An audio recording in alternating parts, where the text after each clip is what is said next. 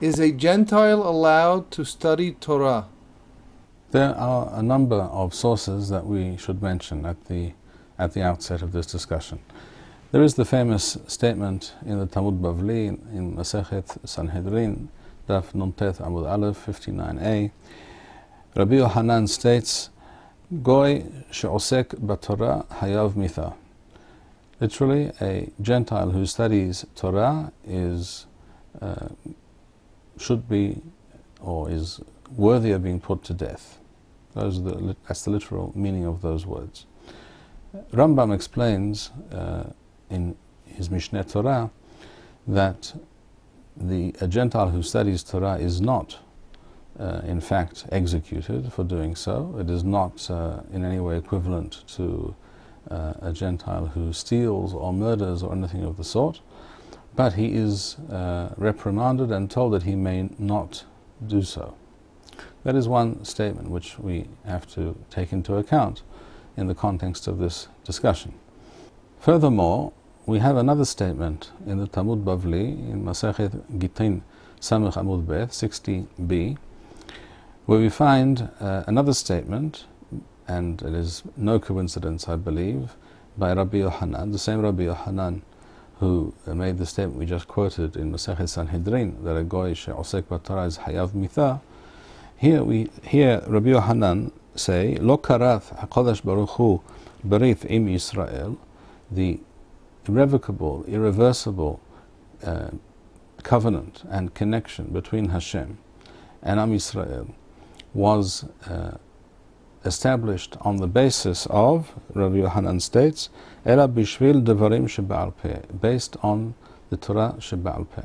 In other words, the essential covenant and uh, unique form of, of communion between Am Yisrael and Hashem, uh, which takes place by way of the Torah, through the agency of the Torah, by the fact of our studying Torah and living Torah.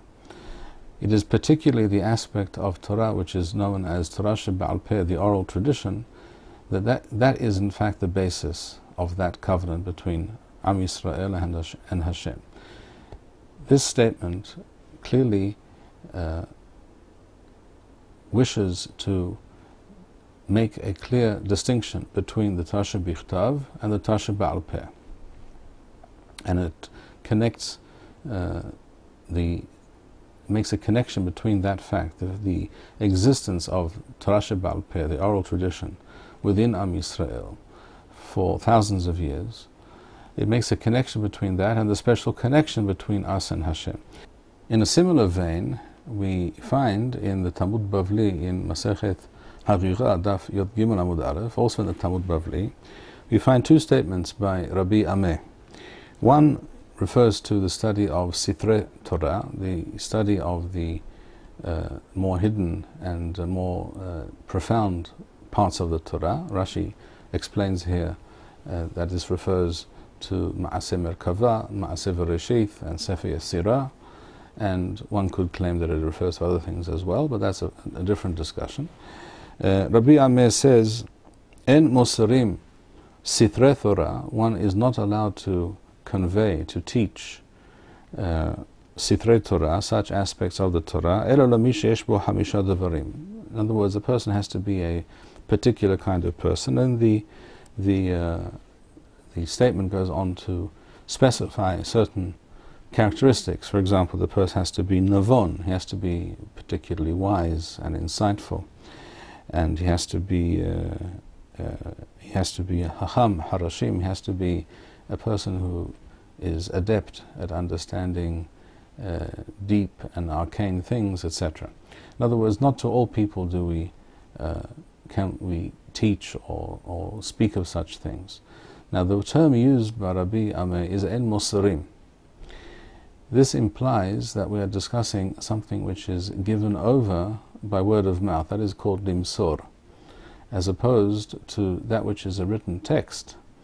Uh, something may be written, but if it needs to be explained, the explanation is nimsar, is given over, it is conveyed, it is not written down.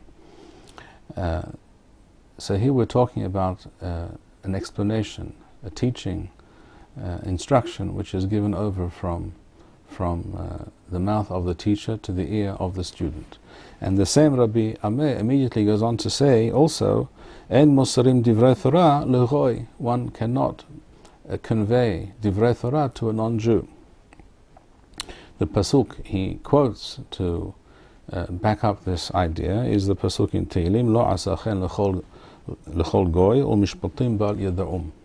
This is a pasuk uh, in Tehillim, which speaks about the fact that only Am Yisrael received the Torah.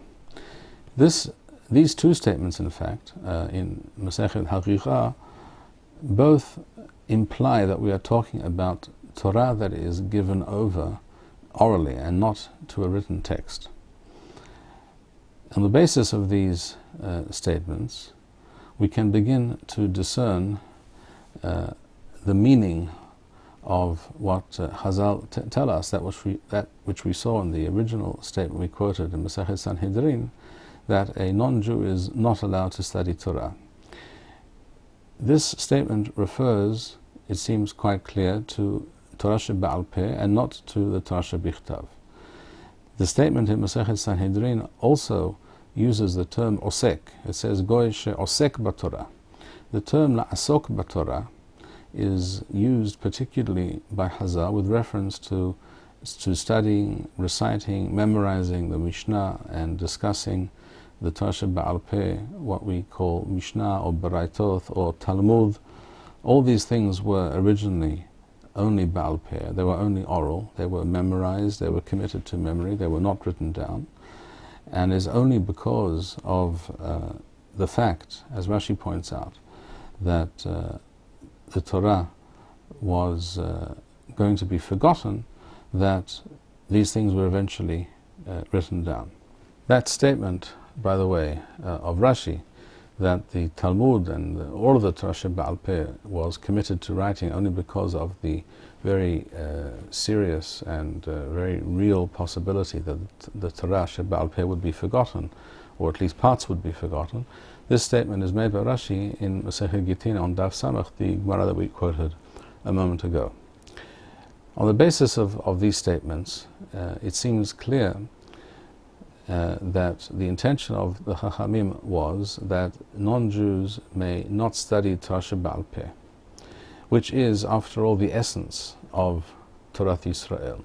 The Torah, without the Torah is essentially uh, a dead letter. It is something which cannot really be um, put into practice. It cannot result in a unique and edifying civilization as the Jewish people have produced over thousands of years. It is not uh, something which can uh, result in any kind of tradition and teaching that can be passed down from one generation to the next. It is simply not the Torah, it is not Judaism as we know it. The Torah Bichtav, which is the source of all things, of course, of the Torah uh, and the uh, our connection to Hashem through the Torah begins with the Torah Shebichtav. Nevertheless, without the Torah Shebaal Peh, it is uh, an entirely uh, different reality on, on a very, very much uh, less meaningful and significant level. And Rambam too, when he uh, quotes the statement of Rabbi Hanan in Masechet Sanhedrin, this is in Hilchot Melachim or Milhamot Perek Asiri, he writes, again, the exact words of the Talmud, Goy she'asak b'Torah hayav mitha. Asak uses the word esek, la asok b'Torah. Again, this term is, is always used in, uh, in the context of the, the, the study of Torah Baal Peh, not, not the study of the Torah Bichtav, which includes the Nevi'im and the Ketuvim. There, the term is, the verb that's used is always likro, kara.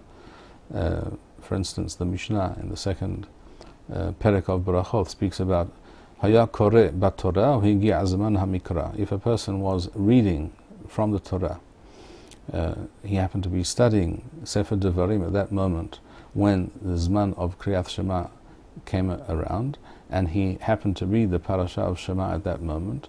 The question discussed by the Mishnah is whether he is Yosef Hova, whether he fulfills the mitzvah of Kriyat Shema by, by reading from the Torah, but the verb is always Hayakore, there it's talking about Likroba Torah because uh, reading from the Pesukim of the Torah and under the, understanding the Pesukim without the benefit of the uh, Torah Peh is, is always referred to as Kriya, as opposed to Esek. Esek, La'asok, involves uh, delving into uh, the meaning of the Torah, comparing the wording of this pasuk to that pasuk, comparing one miswa or one principle to another, and uh, extrapolating from one thing to another, and therefore deriving uh, halachot and understandings and practices from this, uh, from the Tasha Bichtav. That is called La'asok. And that is what the Gemara is referring to in Masechet Sanhedrin, and that is what Rambam is referring to. And this understanding is exactly what we find written by the Abes, Rabben, Yaakov Emden, in his Sidur, the famous Sidur Beth El, also known as Beth Yaakov. He writes in his Perush on the Sidur uh, with regards to Birkat HaMazon, the words that uh, we say in Birkat HaMazon referring to the Torah, Berith Torah, al Torah Shalim Mavtano, for example, in some Nusha'oth, uh, the Abetz writes that this refers to, when it says Torah Shalim Mavtano, it's talking about the Torah She'ba'al Peh, and it is this Torah which a uh, uncircumcised Gentile may not study. But then, and then he goes on to quote uh, various statements in the Gemara and from the Tanakh itself. We are aware of the fact that the Torah or parts of the Torah were written uh, on large stones and placed uh, in, in, in certain places in Eretz Israel for the non-Jews to see.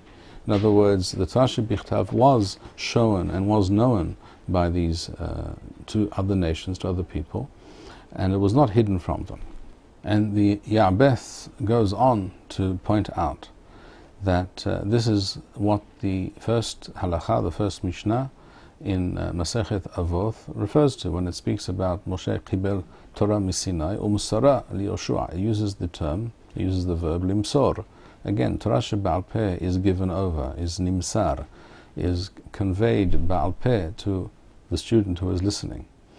In the same way that today, even when we today study the Talmud which is written, to understand it fully, uh, one has to uh, hear the text explained by, by great Chachamim over a long period of time before one really can begin to understand fully the depth and the uh, thought processes and the assumptions and the, the, un, the um, understandings and the things which are written between the lines, which are the basis of, of the Torah Baal Peh. And therefore, the Mishnah speaks about Mesara uh, Yoshua, just as Rabbi Ameh uh, in the Gemara referred to Mosarim Divrei Torah le, le Goy. En Mosarim Divrei Torah Goy, for the very same reason that we're talking about Baal and that is something that is given over, that is Nimsar. It is also, of course, an historical fact that. Uh, going back 2,300 years. The Torah was translated into Greek and afterwards into other languages. And uh, for non Jews, uh, since that time, it has been possible to study the, the Torah Shebichtav uh, and the Nevi'im and the Ketuvim. And this is, uh, can and should be seen as also the will of Hashem, that the, the Torah, the existence of the Tanakh, and uh, the, the thrust of the Tanakh should be uh, known and understood and learned by non-Jews around the world. And Rambam refers to this uh, idea at the end of Mishneh Torah, at the end of Ilchot Melachim Milhamot, where he refers to the fact that the uh, fact that the, the dissemination of the Torah, the Torah Bichtav, by way of the advent of the Christian religion and later the uh, Muslim religion, even though Islam does not uh, officially recognize the Tanakh as Christianity does, but nevertheless, uh, as we know, uh, all the essential ideas of Islam, such as the uh, unity of, of God, of the Creator, and uh, the prohibition against idol worship, and all, all all the essential concepts of Islam are taken from, from the Torah. The essential notions and concepts of Torah Israel, of the Tanakh, um, over time became known to uh, a majority of the world. And we should see this uh, as the will of Hashem, that Hashem willed it to be so. And this is what Rambam implies when he speaks about this historical uh, development uh, paving the way for Yimot HaMashiach in the, in the future. So, in summary, non-Jews may study the Torah Bichtav and uh, the essential commentaries and, and explanations of the words and the basic concepts involved so they can understand the uh, general thrust of the Torah Bichtav, of the Nevi'im and the Ketuvim, but they may not, uh, under any circumstances, study the Torah Peh, which is a unique um, form of wisdom and understanding, which is to be kept and maintained and uh, protected from outside influences and from uh, even others understanding and knowing much about it. It is to be kept uh, for and within the circle of the Jewish people. The production of these videos and maintaining this channel demands much time and money. If you enjoyed this video, please show your appreciation and support.